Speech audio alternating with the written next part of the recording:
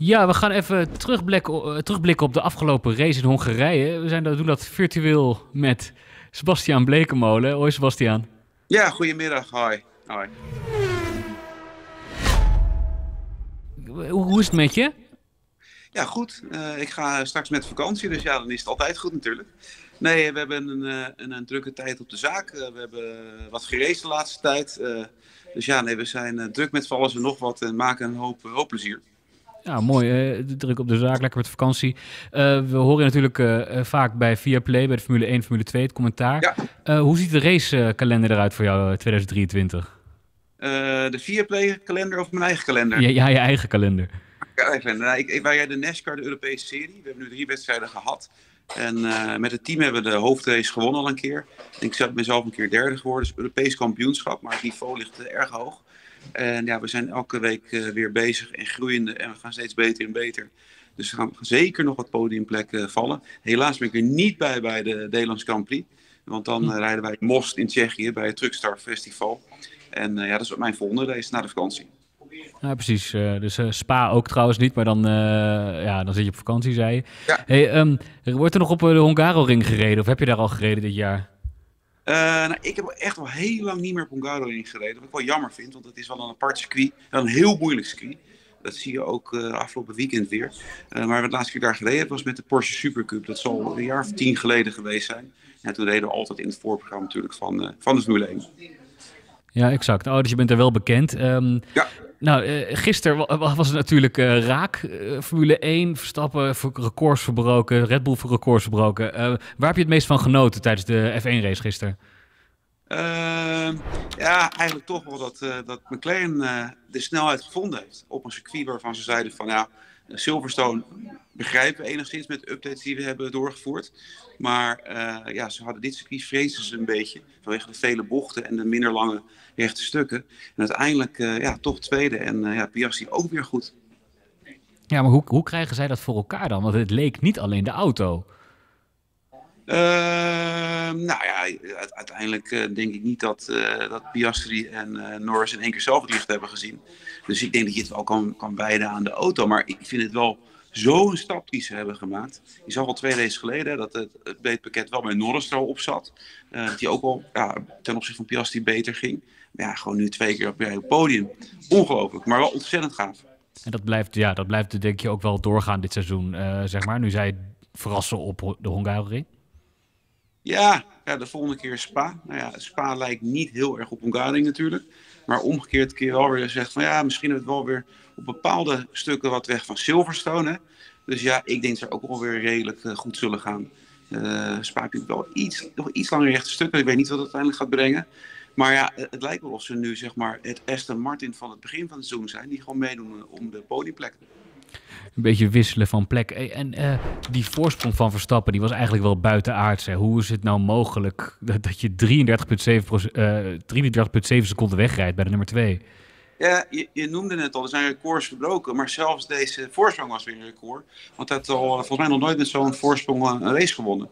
Dus ja, dat is, is, is bizar. En, en eh, ja, eh, onbegrijpelijk dat hij ja, zo een stuk sneller is dan de rest. Ik vind het echt heel knap. Zijn dat die upgrades, denk je? Ik bedoel, wat, wat maak je daarvan? Ja, kijk, het was natuurlijk uh, vooral die sidepod, zeg maar de luchtinlaat van de sidepod. Dat is meer een soort brievenbus qua opening vorm geworden. Dat is iets ronder. Dat zijn allemaal minimale dingen die helpen. En ja, een, een wat korter circuit, wat, wat bochtiger circuit. Dus minder lucht, minder snelle lucht kan er doorheen gaan.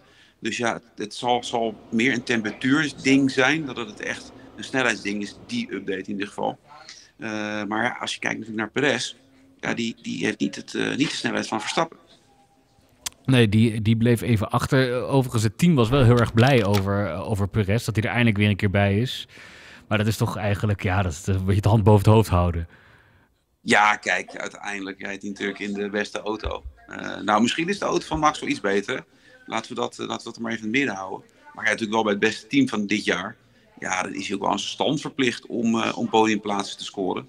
En uh, ja, uiteindelijk was de kwalificatie in mijn optiek weer niet goed, want het is ondegen. Ja. Hey, hoe, op welk, wat voor manier, laten we het in het midden verder, maar op wat voor manier zou de auto van Verstappen beter kunnen zijn dan die van Perez dan? Ja, dat is gek met auto's. Je ziet in elke klas en met elke auto, dan kan het best wel eens zo zijn dat, uh, dat gewoon een, een, een, chassis, dat het gewoon iets beter is. En ik ben ervan overtuigd dat, ze met hetzelfde materiaal rijden, maar dat zit hem dan in, in iets onverklaarbaars. En misschien dat de, motor die er nu in heeft net een fractie sterker is. Die bijvoorbeeld onder je net iets beter trekt of op top net een kilometer harder loopt. Nou ja, we hebben gezien, uh, Verstappen had... Uh, had de pol gemist op 3000ste. Het gaat ook om minimale verschillen. Dus als je een auto hebt die anderhalf, twee tienden langzamer is, zonder aanwijsbare reden, wat zomaar kan, ja, dan heb je gewoon een groot probleem eh, vandaag de dag in Formule 1.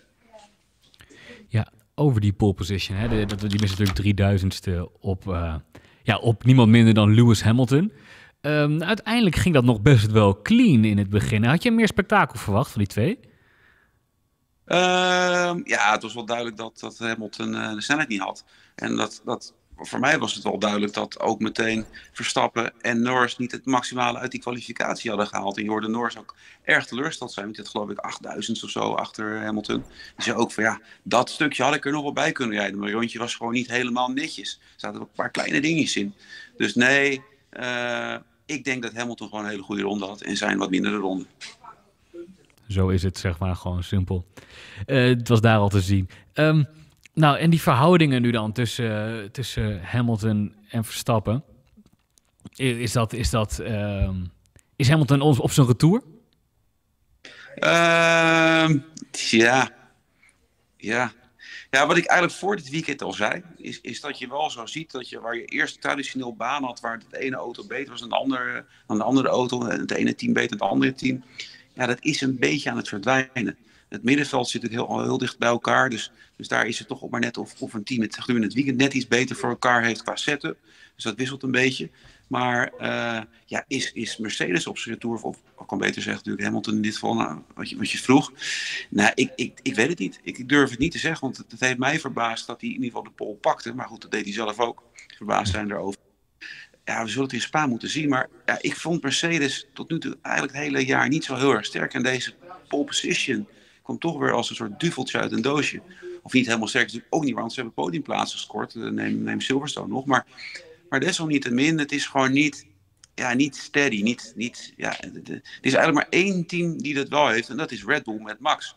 En voor de rest... Uh, ja, wisselvallig. Maar ja, dat komt ook net als uit het middenveld zit gewoon dicht bij elkaar. Dus twee tienden missen, door wat voor reden dan ook. En ja, je staat weer vijf plekken verder naar achter.